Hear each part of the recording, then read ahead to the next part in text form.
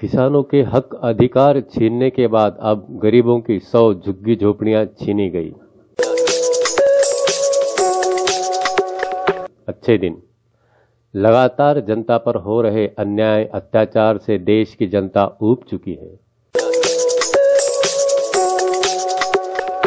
किसानों के खिलाफ पास हुए बिल का विरोध थमा ही नहीं कि कल ओखला के जामिया नगर में सौ से अधिक झुग्गियों पर चला बुलडोजर।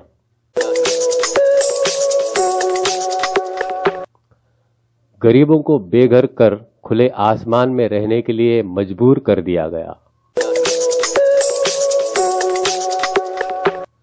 धन्ना सेठों के लिए काम करने वाली सरकारों का बस सिर्फ़ झुग्गी झोपड़ियों पर चलता है।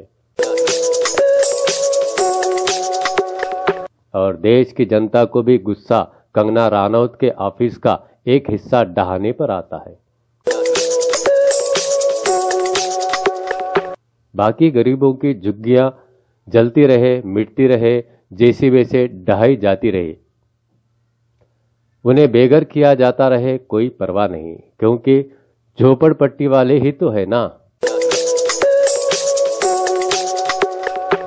बाकी सब आपके सामने है। जय भारत।